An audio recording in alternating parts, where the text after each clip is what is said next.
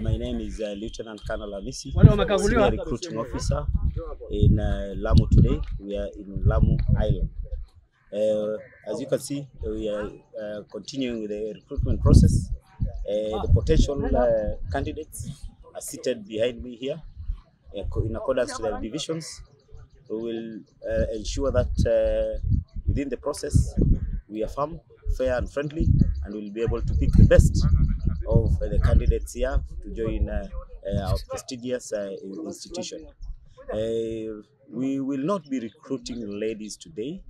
The reason being that, according to the, the, the, the, instructions given and according to the uh, national statistics, is that uh, in this recruitment station, uh, already we have enough personnel from this area. Therefore, it's unfortunate we will not be recruiting ladies.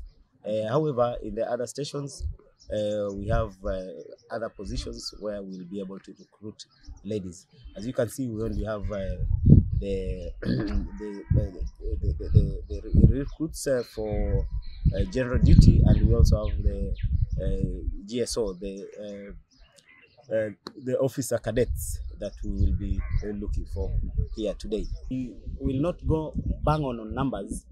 Uh, those that will meet our criteria and qualification will be able to consider them.